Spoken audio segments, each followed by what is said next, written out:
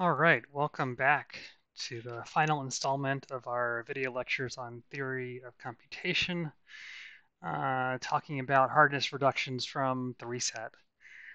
And in this lecture, we are looking at the reduction from 3SAT to three-dimensional matching.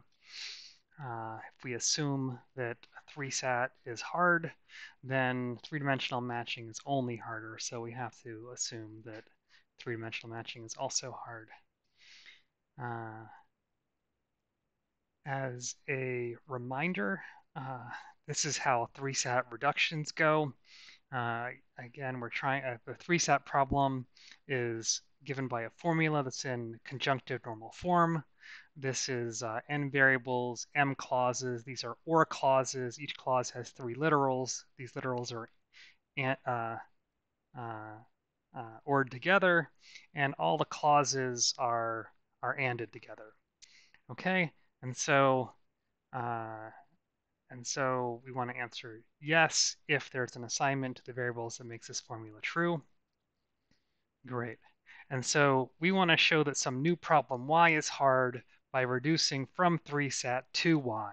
So we're saying that, you know, if if there's some funny computer that solves y, then we can use this funny computer to solve 3SAT. Now we believe that 3SAT is hard, so we don't believe this funny computer exists. Okay, it's a proof by contradiction. Okay, so what are we trying to do in a 3SAT reduction? We're trying to solve 3SAT with a black box that solves some other funny problem. Okay, how do we do that? We need to use the constraints of this uh, funny problem y to ensure the constraints of 3SAT. Okay, what are the constraints of 3SAT? The constraints of 3SAT are that each clause has at least one representative true literal, uh, and representative true literals are consistent. Okay, uh, meaning uh, you can't have two representatives uh, from different clauses, uh, one corresponding to a variable zi and the other corresponding to the variable zi bar, those would not be consistent. This would not correspond to a satisfying assignment. Cool. And good. Let's uh, let's look at what is our our candidate problem of this uh, fourth uh, video lecture. So we're going to be reducing from 3SAT to three-dimensional matching. The three-dimensional matching problem is given by a set uh, three sets of vertices. We'll call them A, B, and C. And the edges in the three-dimensional matching problem are going to be triples. Okay, so there's going to be, each edge is going to go from one vertex in A to one vertex in B to one vertex C. So it's going to be sort of a, you know, you think of it as a triangular shaped edge.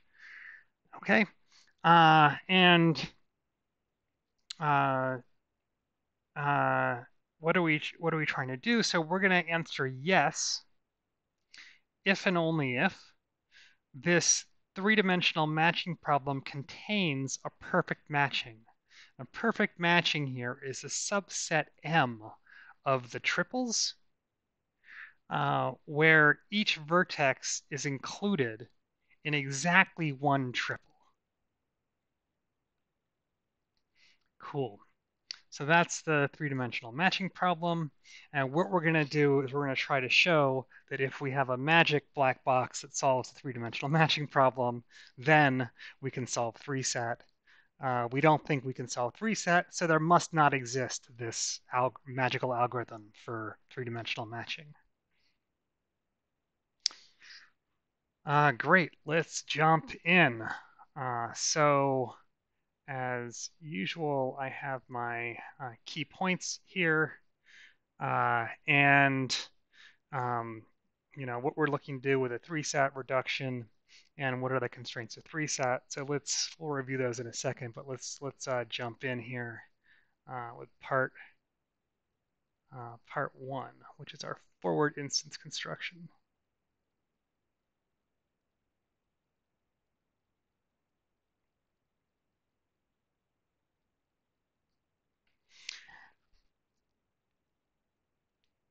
Okay, uh, so uh, forward instance construction. So we are Uh, wanting to solve three sat again. Always wanting to solve three sets. We're going to map a three sat formula F to uh, an independent set problem. We'll call that A, B, C, and T. We'll superscript that with F to denote that it's coming from the three sat formula. So we are trying to map this formula to uh, a three-dimensional matching problem. Okay, uh, so like we did with Hamiltonian cycle, I'm going to give a sketch of this proof. It's uh, sort of tedious to write down all the details. I'm also not going to give you parts two and parts three uh, written out carefully. I'm going to give you the intuition behind them, but I'm not going to give you the, the details just in the interest of time. Uh, okay, so good. So what is the idea here? So as usual, we're trying to solve 3-SAT with a black box for y. We somehow need to use the constraints of three-dimensional matching to enforce the constraints of 3-SAT. And, and what are our constraints of 3-SAT? Our constraints of 3-SAT are that each clause has one representative true literal, and representative true literals uh, uh, are consistent. Usually the, the place to start with one of these things is to think about how do I how do I make the clauses be consistent? Okay, and that comes out with thinking about, you know, each of the variables. And so, you know, coming up with what's called variable gadgets, you know, representing the, the variables in the problem we're reducing to. So we're going to have to represent variables somehow in in three-dimensional matching, and somehow the perfect matching constraint is going to have to enforce that uh, that that uh, our variables are taken consistently. Okay, so here is the idea. So we're going to have our variables z1, z2, etc. And we're going to represent them uh, by, again, and, and triples look like look like this, right? So we're going to represent variables by these uh, things that look like flowers.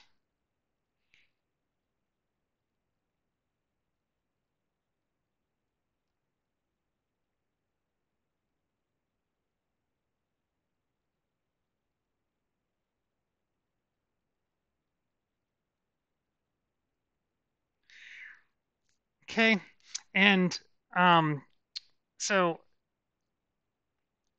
one thing that you can notice here by the flowers is that if you look at each of these triples, I'm going to have them go uh, uh, each triple. So I'm just going to number them.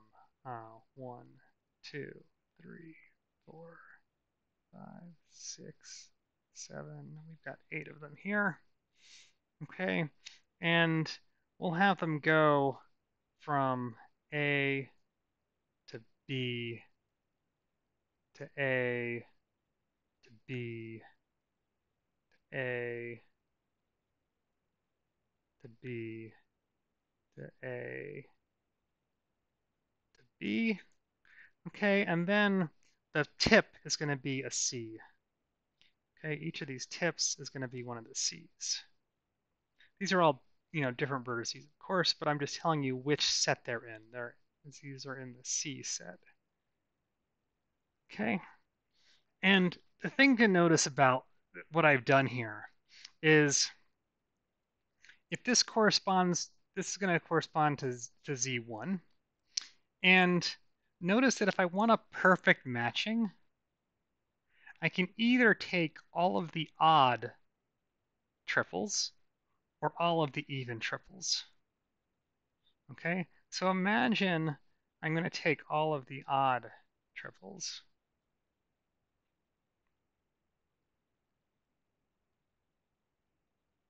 Okay, and so if I take all the odd triples, um, that leaves all the even triples, the, the C vertices on the even triples open.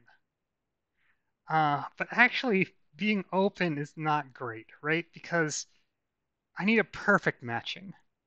Okay, so I have to somehow be able to match up the tips on the ones that are still open now. Okay, uh, but here's the idea. I'm going to have a clause, Cj, and it's going to have an A vertex and a B vertex.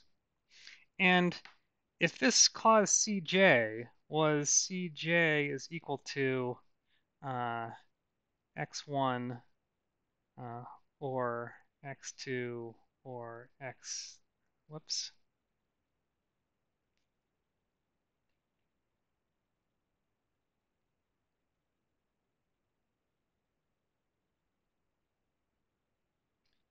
z1 or z2 or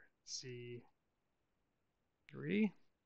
So if this clause cj was equal to z1 or z2 or z3, then uh, I'm going to make it so that I can get this this tip that corresponds to uh, by putting a triple that lets me collect that tip. Okay, and so imagine this is the jth tip. So the jth tip um, would let you collect the cjth uh, clause.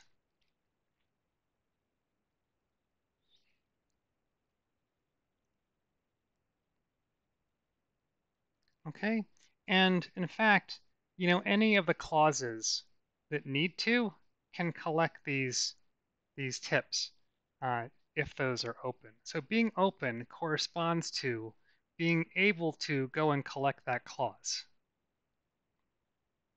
Okay, so we're just going to do this for every variable. We're going to set up these these flowers, uh, and for every clause, we're going to put um, triples going either to the even or to the odd uh, uh, triples in the petals of the of the flower.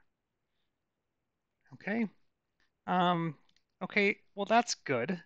Um, but you know, if this clause has you know some other variable, it might you know be going like this, and and you know maybe you know not there there's some extra vertices that still need to be collected to sort of make this be uh, uh, every so, uh, you know we sort of got things right here um, but we're we're missing um, we're missing uh, uh, there there may be just some extra tips we have to collect so what we're going to do is so basically we have um, a variable gadget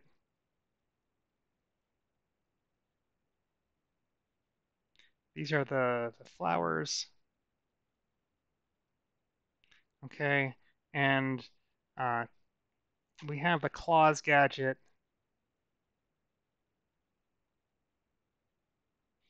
Uh, and these can collect the tips of the flowers to make the clause true.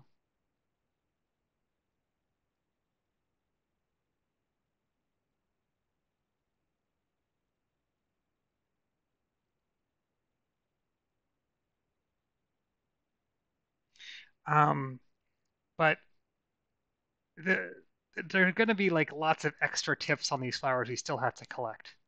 So what I want to do is I want to make exactly the right number of, I'll call this, uh, you know, garbage collection.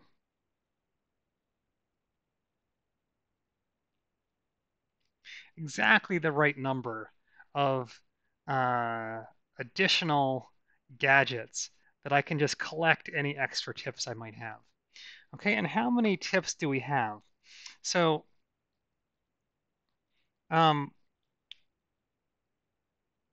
each clause can possibly be connected. We're going to have each clause, we're going to make sure that uh, each flower has uh, 2m tips because each clause could collect to it either positively or negatively. So these are going to have 2m tips. Okay, and how many clause gadget, uh, uh, uh, gadgets are there? Well, there are going to be m clause gadgets. Okay, uh, and so each clause gadget can only collect one of these 2m tips, and they're n variables. So we have n times 2m tips total, but only m of them got collected by clause gadgets uh, to make the clauses true. And so we need to garbage collect uh, 2mn minus m tips. Um, we do garbage collect, and so we're just going to create uh, this many extra vertices. We'll call them G1 through G2 m n minus m. And this is just going to be a pair. They're going to look like this. There's going to be an A and a B, and they're just going to connect to some tip. Okay, uh, and in fact, uh, we're going to put, uh, they're going to connect to all the tips. Okay, we're just not going to care which ones they connect to. And um, we are in a in a matching problem, and having extra triples doesn't really isn't really going to be a problem. So we're just going to connect uh, to every tip.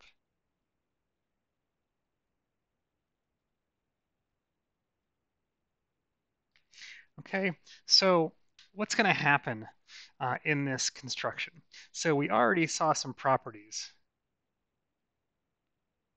You know, some properties are one, uh, in order to, you know, make the the variable gadgets okay, we have to take basically even or odd.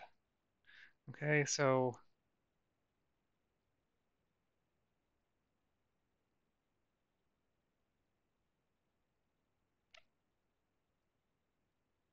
okay, and the garbage collection gadgets are going to collect to uh, 2nm minus m tips, which means they're going to leave m tips.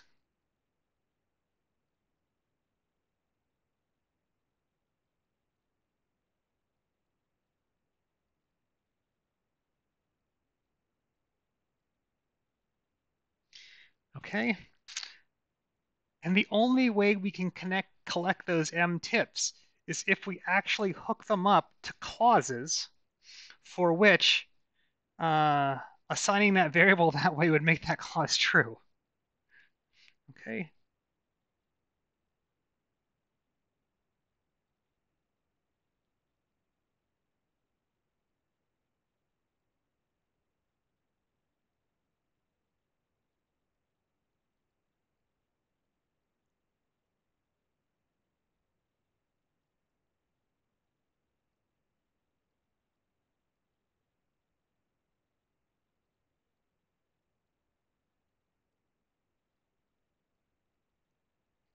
Cool. So at this point in time, this is our construction. You know, you can write it down carefully. I refer you to the book to see it carefully written down. Uh, we now have to do part uh, two and part three, which are the uh, backwards and forwards uh, certificate construction.